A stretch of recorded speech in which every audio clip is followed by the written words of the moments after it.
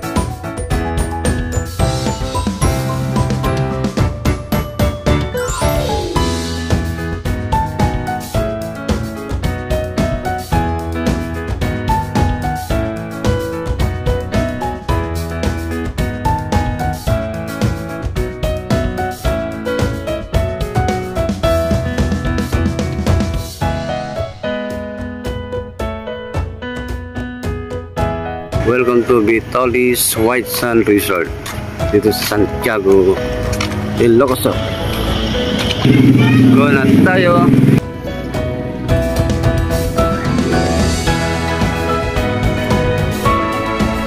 Okay, pasabihin natin kung ano ito guys. Ang kakaibang sinasabi nila na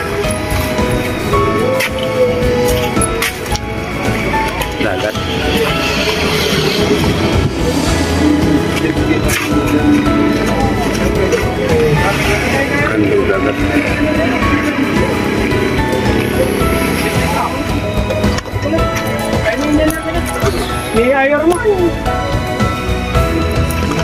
So makikita natin white sand guys yung dagat dito sa Santiago. Santiago, Ilocos. So pwedeng maligay dyan guys. So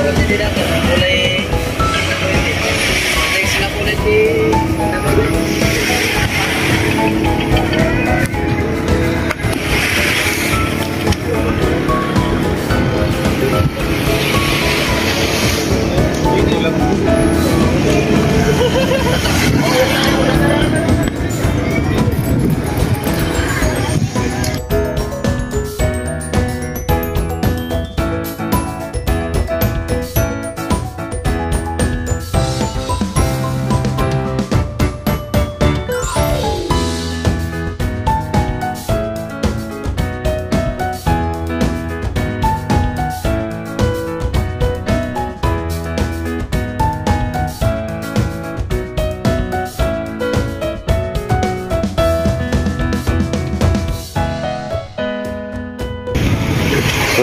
sand guys ang ang ah, buhangin dito. O diba? Ito lamang sa Santiago, Ilocos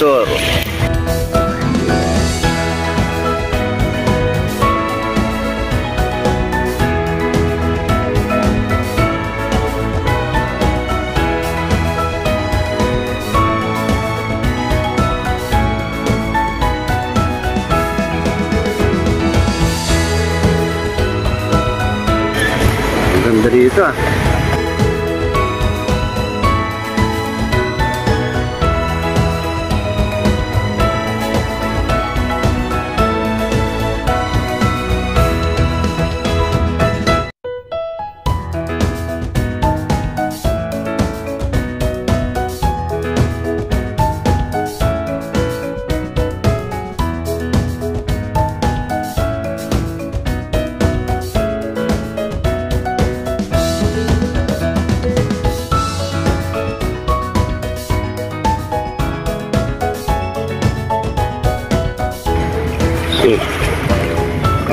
tayo dito guys. Yeah. Hoop. Yeah. Rin dito yung dadaanan natin ah. Oh. Sa gilid ng ano.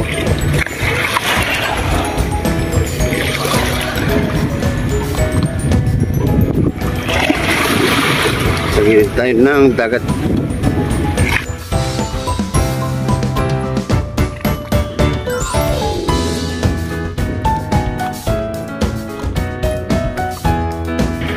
So, diretso tayo dun.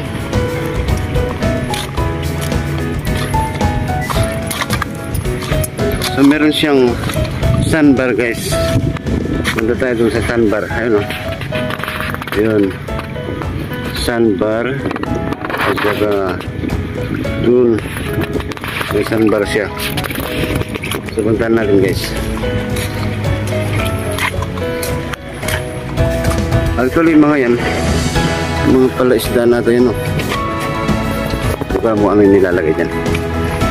Kailangan natin tumawid muna dito. So ito guys, sandbar po ito. Pagka low tide, lulutang ito hanggang dun sa pinakadulo. So, walang tayo dito. Diba? O diba? Kayang-kayang tawirin ang naturang sandbar. So yan. pag low tide, lumulutang yung sandbar dito.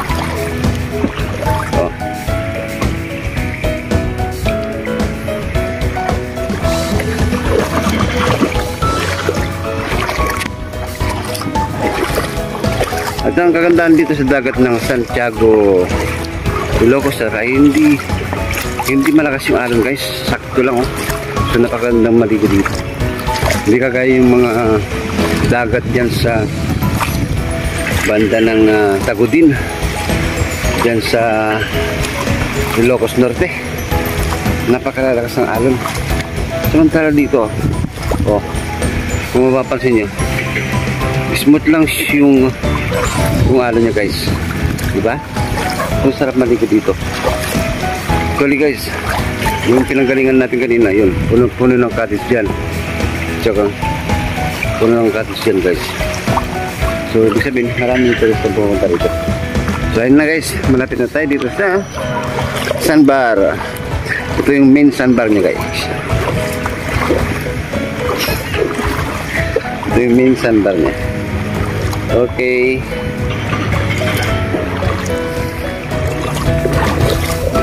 Yan na ang sandbar. Di ba? Ayun yung pinagalingan natin. Yun. So guys, so dito matatanaw na natin ang Santiago Cove. Yung, ayan o. Yan, resort po yan guys. So, hindi tayo makapunta dyan dahil uh, alangan na yung oras natin guys. So, yan yung Santiago Cove dito sa Ilocos So maganda maganda mag-stay dyan. Guys, kapag uh, gusto mag-relax. So ayan. So hanggang dito lang kami sa sandbar ngayon guys kasi alanganan yung oras namin. So hanggang sa susunod na lang. Ito guys, kung gusto nyo mag-picnic dito sa sandbar, pwede, pwede kagaya nun, no? Yung pamilya na yun, no? O picnic sila. Diba? So, yun lang kailangan mo lang talaga ng time para travel sa travel na ganito okay so sa ngayon nandito tayo sa gitna ng sandal no? so tatawirin naman natin papunta ulit dun sa Dalampasigan so go tayo guys medyo mataas na ata dito. Taas ko lang yung uh, pantalon ko.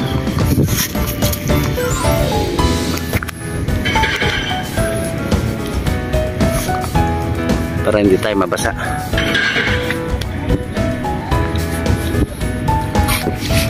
Ang linaw guys ng tubig ko diba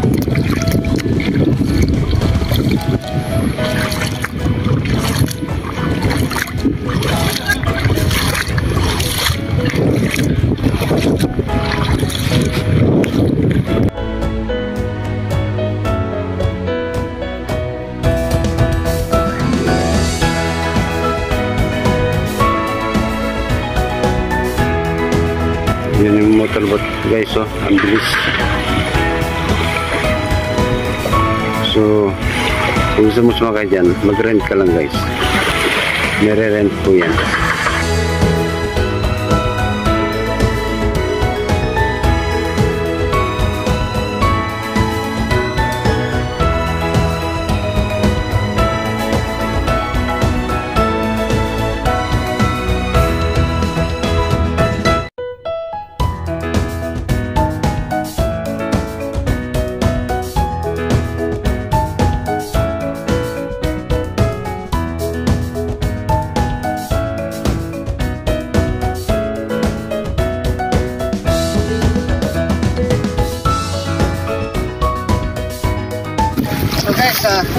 natawarin natin itong dagat dito.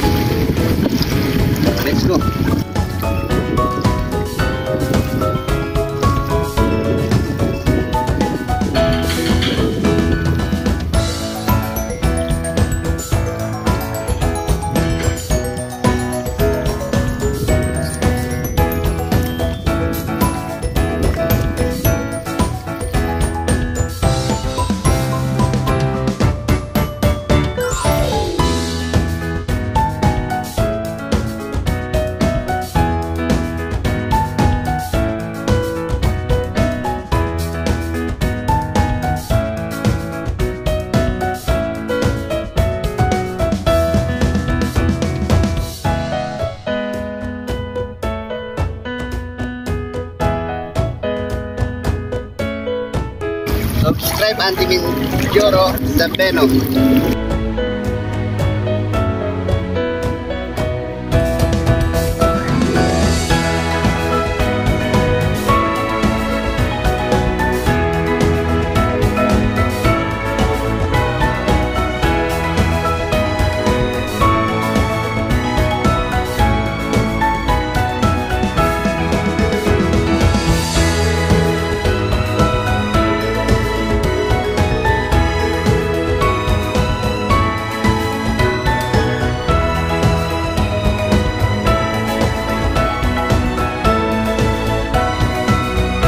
So, ayun guys, okay, okay. Naranasan natin kung paano tumawid simula dito hanggang sa Sandbar. Good luck. Thank you, thank you. So ayan guys, tanaw na tanaw ang sandbar dito sa Santiago, Ilocosur. Yan. So, napuntahan na natin ang uh, tinatawag nilang sandbar, white sand dito sa Santiago, Ilocosur. So maraming salamat guys sa inyong ah, panibagong panonood na naman sa aking video. Maraming salamat at to God be the glory.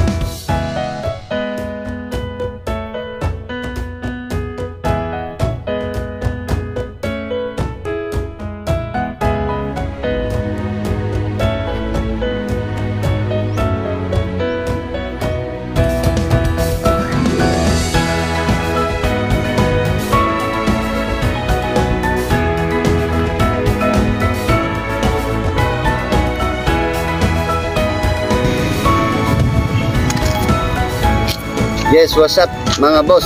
So, nahuhulaan niyo ba kung nasan tayo? Well, gaya ng sinabi ko, puntahan natin ang isa sa pinakamagandang tourist spot dito sa Santiago, Ilocosur. So, nandito ka, tayo ngayon guys sa Santiago Pug Resort. So, kung saan makikita mo ang sandbar doon at ang resort doon. So, tara guys.